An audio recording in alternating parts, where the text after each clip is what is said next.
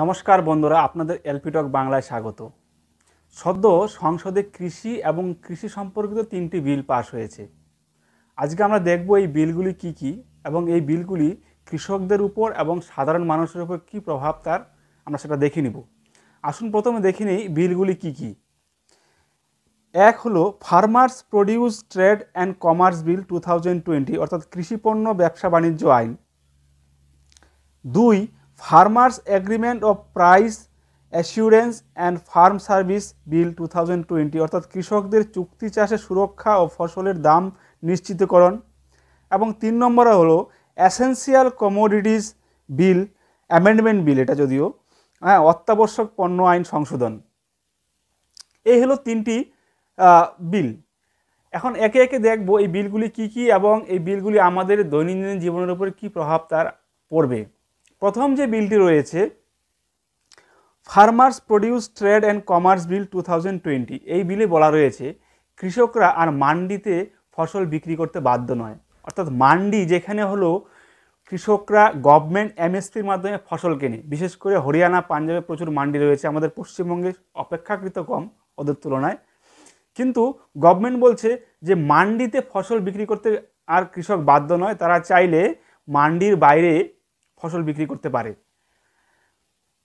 আপনাদের বলে রাখি, ভারতবর্ষে যত কৃষক আছে, তার ছয় শতাংশ মান্ডিতে বিক্রি করে এবং চুরানব্বই শতাংশ মান্ডির বাইরেই বিক্রি করে। এই নতুন আইন তাদের কি সুবিধা দিবে সেটা সরকার ভালো করে বলতে পারবে। কিন্তু কৃষকরা আতঙ্কিত হয়ে যাচ্ছে এই ভেবে যে মান্ডির বাইরে আমরা ফসল বিক্রি করব তার মানে কি? এমএসপি থাকছে না। এমএসপি মানে হলো মিনিমাম সাপোর্ট প্রাইস, ন্যূনতম সহায়ক মূল্য। অর্থাৎ যে মূল্যে নির্দিষ্ট পরিমাণ ফসল গভর্নমেন্ট কৃষকদের কাছ থেকে কিনে নেয়। তো কৃষকরা এটা ভেবে আতঙ্কিত হচ্ছে, তারা কি এমএসপি থাকছে না, মান্ডি থাকছে না? তাই হরিয়ানা এবং পাঞ্জাবে শুরু হয়েছে মান্ডি বাঁচাও আন্দোলন। গভর্নমেন্ট বলছে এমএসপির সঙ্গে এর কোনো সম্পর্ক নেই। এমএসপি থাকছে, কিন্তু কৃষক চাইলে এমএসপিতে বিক্রি না করে বাইরে বেশি দামেও বিক্রি করতে পারে। গভর্নমেন্ট বলছে আমরা কৃষক এবং ব্যবসায়ীর মধ্যে এমন একটা ইকোসিস্টেম তৈরি করব যাতে কৃষকও লাভবান হয় এবং ব্যবসায়ী তো লাভবান হয়। কে লাভবান হবে সেটা পরে বোঝা যাবে। আসুন পরের বিলে যাওয়া যাক।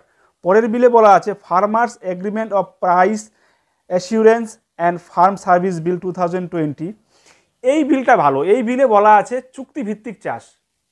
দেখুন, আমাদের দেশে কৃষি ব্যবস্থা এমন যে বেশিরভাগ সময় কৃষকরা তার ফসলের ন্যায্য মূল্য পায় না। আপনাদের বলে রাখি, এবছর টমেটো এক টাকা কেজি বাজারে বিক্রি হয়েছে, দু টাকা কেজি কেউ জমির থেকে টমেটো উঠায়নি।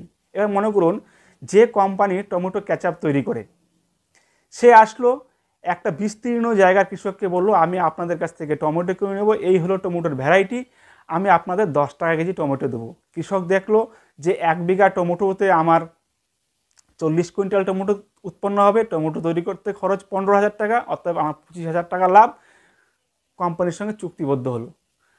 কোম্পানিও নিশ্চিত সে সে টমেটো পাচ্ছে কৃষকও নিশ্চিত, সে নিশ্চিত দাম পাচ্ছে।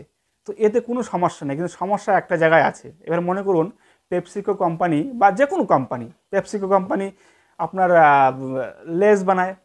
কৃষককে এসে বলল যে, আমি আলু নিব দশ টাকা কেজি। কৃষক দেখল, ঠিক আছে, আলু দশ টাকা কেজি। এক বিঘায় আলু চল্লিশ কুইন্টাল হবে। তাহলে চল্লিশ চল্লিশ হাজার টাকা। আর আপনাদের বলে রাখি, এক বিঘা আলু চাষ করতে খরচ হয় কুড়ি থেকে বাইশ হাজার টাকা। এবার আলুর যখন ফসল উঠল, তখন দেখা গেল আলুর মূল্য বাজারে তিরিশ টাকা কেজি। তখন কৃষক পেপসি কোম্পানিকে আলুটা দিবে তো? যদি না দেয়, তখনই সমস্যার সৃষ্টি হবে। যাই হোক, এই যদি সেটেলমেন্ট করে নেওয়া যায়, তাহলে আমি বলব চুক্তিভিত্তিক চাষ খুবই ভালো এবং কৃষকদের চিন্তামুক্ত চাষ হবে। কৃষকরা আগেই বুঝে যাবে সে কত টাকা লাভ পাচ্ছে বা পাচ্ছে না। এবার আসা যাক তৃতীয় যে আইনটি রয়েছে সেটি। তৃতীয় আইনে বলা রয়েছে essential commodities amendment bill two thousand twenty অর্থাৎ অত্যাবশ্যক পণ্য আইন সংশোধন। দেখুন, এই আইনে বলা রয়েছে যে এখন থেকে চাল, ডাল, আলু, পেঁয়াজ ইত্যাদি আর অত্যাবশ্যক পণ্য থাকল না, যে যত খুশি পণ্য মজুত করতে পারে। কেন? গভর্নমেন্ট বলছে তাদের কাছে পর্যাপ্ত জায়গায় নেই সেই সব ফসল রাখার জন্য। মান্ডিতে তাদের ফসল নষ্ট হচ্ছে জায়গায় নেই। যদি এই আইন থাকে তাহলে ব্যবসায়ীরা নিজেরা স্টোরেজ তৈরি করবে এবং কৃষকের কাছ থেকে ফসল কিনে নিয়ে স্টোরেজে রাখবে। কৃষকও দাম পাবে, ব্যবসায়ীও পরে সেটা সঠিক দামে বিক্রি করতে পারবে। গভর্নমেন্ট এতে কোনো হস্তক্ষেপ করবে না। হস্তক্ষেপ করবে কখন? বলছে যদি যুদ্ধ লাগে তবে, যদি ন্যাচারাল ডিজাস্টার হয়, অথবা পচনশীল বস্তুর দাম পঞ্চাশ শতাংশ বৃদ্ধি পায় এবং অপচনশীল বস্তুর দাম একশো শতাংশ বৃদ্ধি পায়। এখানে হলো মজাটা। কেমন দেখুন আমি বলছি। ধরুন বর্তমানে ডাল একশো টাকা কেজি। আপনি আমি একশো টাকা কেজি ডাল কিনে খাচ্ছি। ব্যবসায়ী জানে যে ডালের দাম যখন দুশো টাকা হবে, তবেই গভর্নমেন্ট সেখানে হস্তক্ষেপ করবে, তার আগে নয়।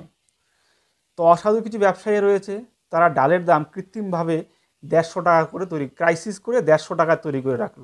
এবার আপনারা আমাকে একশো টাকার ডাল দেড়শো টাকা কেজি কিনে খেতে হচ্ছে। আমাদের দেশে পেঁয়াজের গড় দাম থাকে কুড়ি থেকে তিরিশ টাকা কেজি। কিন্তু গভর্নমেন্ট গভর্নমেন্ট বলছে পেঁয়াজের দাম যখন ষাট টাকা কেজি হবে, তখনই হস্তক্ষেপ করবে। অসাধু ব্যবসায়ীরা ভারতে পেঁয়াজ বিক্রি না করে বাংলাদেশে পেঁয়াজ পাচার করে দিল এবং পেঁয়াজের দাম এখানে করে রাখল চল্লিশ টাকা কেজি। যে দাম, পেঁয়াজ আপনার আমার কুড়ি টাকা কেজি খাওয়া দরকার ছিল, সেটা আমাদের কিনতে হচ্ছে চল্লিশ টাকা কেজি। এই বিষয়টা যদি ঠিকঠাক মনিটরিং না হয়, তাহলে একটা কালোবাজারি শুরু হবে এবং আপনার, আমার সবার পকেটের কিন্তু পয়সা বেশি খরচ হবে। যাই হোক এ তো ছিল তিনটি আইন নিয়ে একটু আলোচনা। আপনাদের কেমন লেগেছে অবশ্যই কমেন্টে জানাবেন এবং ভালো লাগলে শেয়ার করে অন্যদের জানার সুযোগ করে দেবেন। এবং ভালো লাগলে আমার চ্যানেলটি অবশ্যই সাবস্ক্রাইব করবেন। ধন্যবাদ।